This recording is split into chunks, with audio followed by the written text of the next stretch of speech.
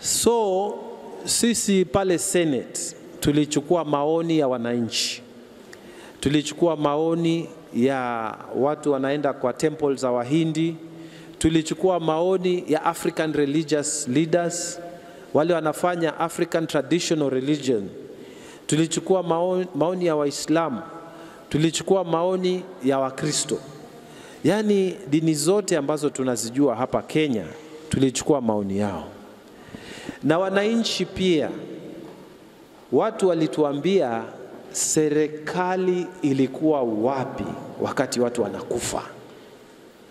Nyinyi ndio you are in charge of the security na usalama wetu, serikali ilikuwa wapi? Hiyo swali. Sasa katiba nayo inasema there's freedom of worship hapa Kenya, so tume propose sheria ambayo inajaribu kubalance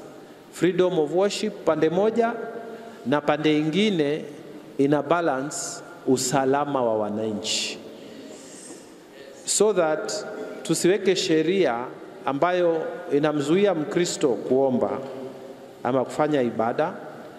inamzuia Muislamu kufanya ibada, ama mtu ambaye anaabudu